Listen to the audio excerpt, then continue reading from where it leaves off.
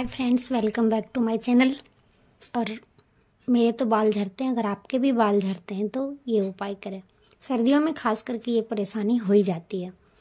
सर्दियों में बाल से जुड़ी समस्या तो हो ही जाती है। बालों का झरना बीच से टूटना, नमी कम हो जाना। तो इसके लिए आज मैं आपको चार टिप्स देने जा रही हूँ। सबसे पहला है कि जब आप नहा के आते हैं तो गीले बालों में कंघी करने से बचें। गीले बालों में कंघी करने पर बाल टूटते हैं। नहाने के थोड़े बाद, थोड़ी देर बाद कंघी कर लें। और बाल धोने के बाद तो बिल्कुल ही तुरंत नहीं करना है। दस मिनट के बाद ही कंघी करें।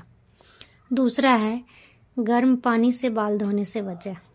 बालों से प्राकृतिक तेल निकल जाता है और नमी की कमी हो जाती है, जिससे बाल टूटने लगते हैं। पर ठंड के दिनों में ठंडा पानी से तो बाल धोया नहीं जा सकता। तो इसलिए आप गुनगुना पानी से बाल धोएँ। उसके बाद है, जब आप बाल धोते हैं तो उसको जल्दी सुखाने के चक्कर में रगड़ रगड़ के सुखाते हैं। तो प्लीज़, रगड़ रगड़ के सुखाने से बचें। बाल को कभी भी रगड़ कर सुखाना नहीं चाहिए। थपकी मार कर सुखाएँ, हल्के हाथों से सुखाएँ और उसके बाद बालों को खुला छोड़ दें और फिर उन्हें खुली हवा में प्राकृतिक तरीके से सूखने दें।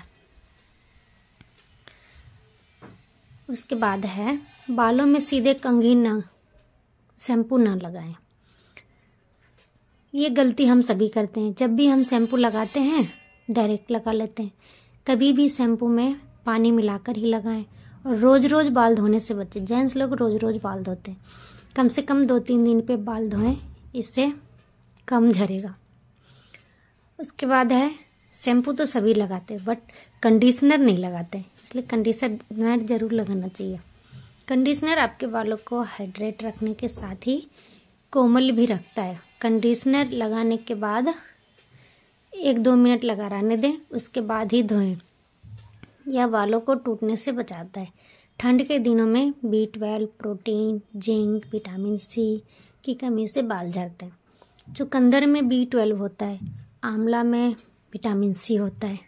इसके अलावा काजू, सीताफल, बादाम खाने से भी विटामिन की कमी दूर की जा सकती है।